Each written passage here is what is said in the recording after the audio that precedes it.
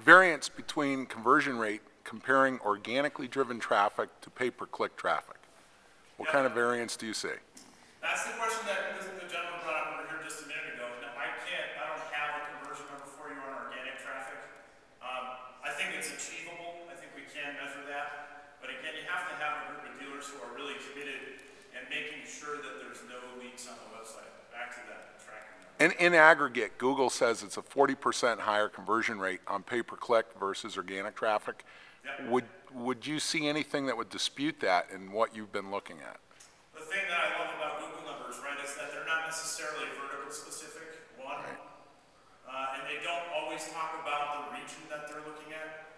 Uh, so I can't either refute or support their numbers. I can say that, uh, I'm happy to be able to expose at least some conversion rate to a paid search. And my guts tell me that we're seeing the same numbers for organic traffic as well. But I can't, again, without really doing a really strong study, we can't post a number like that. Yeah. Do you, do you have data on like, uh, comparative, uh, page views per click from organic listings and paid listings? I love all the organic questions. I feel a little bit like Google right now. My thought is that you really, what you find a lot of ways that paid ads are, you're, Especially 2,000. people paying to 4 million visitors a month. a We see very 60% qualified lead, whereas when you spend money on raising organic listings, those across the entire country.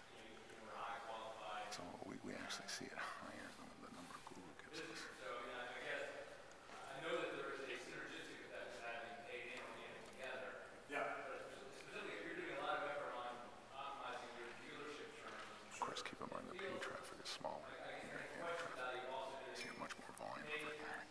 uh, place for dealership terms, is, I, I would rather have the organic ones than, Let me ask you this. Would you like your competitor to put a billboard up in front of your dealership advertising them? Had it happen. That would be terrible, right? That's, that's a ridiculous rhetorical question. Sorry.